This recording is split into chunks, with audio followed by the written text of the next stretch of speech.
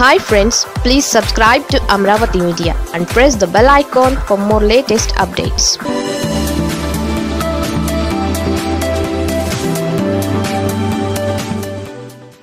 జాగ్రత్త. జనవరి ఒకటి నుంచి రోడ్లెక్కితే మోత మోగినట్లే. హెల్మెట్ లేకపోతే ఏముందిలే? వంద చలాన కడితే సరిపోతుంది అనుకుని రోడ్డుపై చక్కర్లు కొడదామనుకుంటే ఇకపై ఆ పప్పులు ఉడకవు. ఎందుకంటే ట్రాఫిక్ నిబంధనలు ఉల్లంఘిస్తే ఇకపై ఏపీలో భారీగా జరిమానాలు విధించనున్నారు ట్రాఫిక్ పోలీసులు. ఈ చట్టం క్రొత్త ఏడాది జనవరి ఒకటి నుంచి అమల్లోకి రానుంది. ఆంధ్రప్రదేశ్ ప్రభుత్వం ఇటీవల తీసుకొచ్చిన నూతన మోటారు వాహనాల చట్టం రెండు వేల ఇరవై ఒకటి జనవరి ఒకటి నుంచి అమలు కానుంది. ఈ చట్టం ప్రకారం ట్రాఫిక్ నిబంధనలు ఉల్లంఘించిన వారికి విధించే జరిమానాలు భారీగా పెరగనున్నాయి.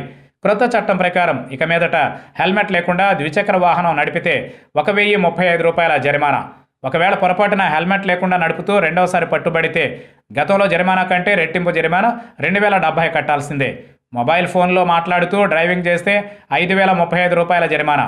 ఇదే కేసులో రెండవసారి పట్టుబడితే మళ్ళీ రెట్టింపు జరిమానా. పదివేల డెబ్బై రూపాయలు కట్టాల్సిందే. ఇక డ్రైవింగ్ లైసెన్స్ లేకుండా వాహనం నడుపుతూ పట్టుబడితే ఐదు వేలు. రెండోసారి పట్టుబడితే పదివేల జరిమానా. అధిక వేగంతో వాహనం నడిపితే ఒక వెయ్యి ముప్పై ఐదు.